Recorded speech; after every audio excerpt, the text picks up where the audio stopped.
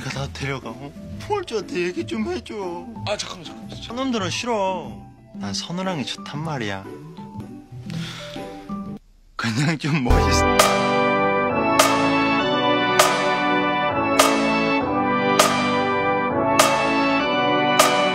나는 예쁜 척하는 게 아니라 그냥 예쁘게 태어난 건데. 그거를 남들이 막, 막 이쁜 척 하는 거라고 보니까는 애라도 힘들어. 비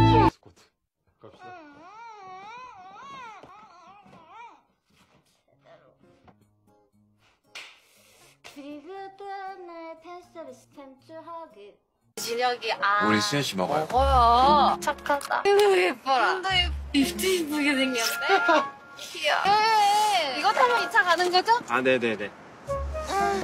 반갑다고 꼬리치며 멍멍멍. 가자, 코코. 가르쳐 좀. 가르쳐 줘. 야, 가지 마. 애라는 싫어. 똥만이가 안 했으면 좋겠어. 뭐, 응? 응?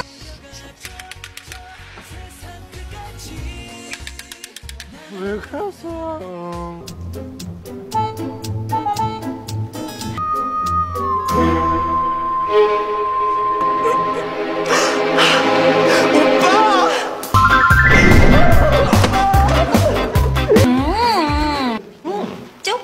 오른, 쭉, 왼. 안, 안 피할 수가 없어.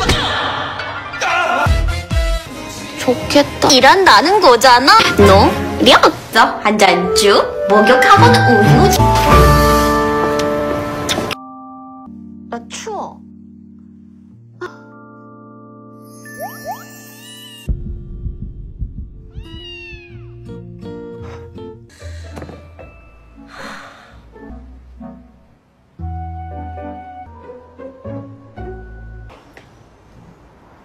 한 장만.